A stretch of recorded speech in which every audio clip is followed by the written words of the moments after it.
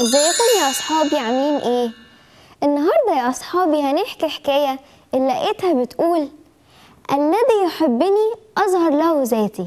يوحنا 14 آية 21 ودي يا أصحابي بتحكي إن كان في مرة من الأيام حاكم مدينة كبيرة قوي وكان على طول يا أصحابي يحقق كل حاجة لشعب المدينة دي. أي حاجة عايزينها الشعب يحققها لهم أي حاجة بس يحس اللي هو عايزينها يجيبها لهم. ففي يوم يا أصحابي اتعرض اتعرضت المدينة دي لجيش من بره المدينة عايزين عايزين يحتل المدينة دي من الأعداء وعايز ياخد الشعب بتاع المدينة دي اسرى عنده. فبكده يا أصحابي لما عرف إن شعبه اتاخد اسرى في إيد الأعداء دول هو بصراحة يا أصحابي زعل قوي ومرضاش يسكت. اجتمع بكل رؤساء المدن اللي عنده وقال أنا لازم أعمل حاجة.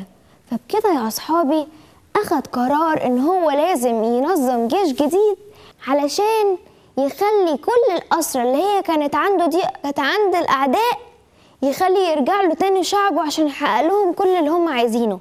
لأن أصحابي هناك كان كل حاجة يطلبوها من إيد الأعداء يقولهم لا مش هتاخدوا أي حاجة إحنا اسرينكم عشان نشغلكم عبيد وملناش إحنا لازم نعملكم وحش.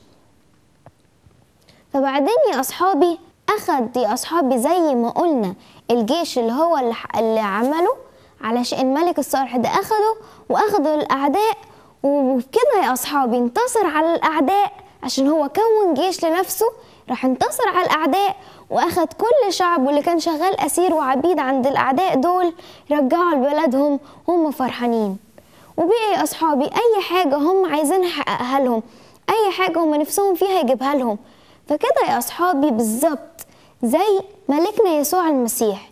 إزاي هو فدانا على الصليب وسفك دمه من أجلنا؟ فإحنا كده يا أصحابي لازم نتعلم إن هو ده ربنا. لما شفنا يا أصحابي اللي إحنا في قبضة إبليس وفي النار لما كنا مع في خطية آدم وحواء اللي عملوها قال أنا ما ينفعش أسكت. لما هو عرف كده وشاف كده إحنا مهناش عليه اصحابي. قال أنا لازم اعمل حاجة. فنزل يا اصحابي واتجسد على صورة انسان وفدينا على الصليب. فشوفوا قد إيه يا اصحابي ان ربنا ضحى بابنه الوحيد ورجعنا السما فوق يا اصحابي. وبكده يا أصحابي خلصت حكايتنا النهاردة. واستنوني المرة الجاية بحكاية جديدة أنا جاية. باي باي.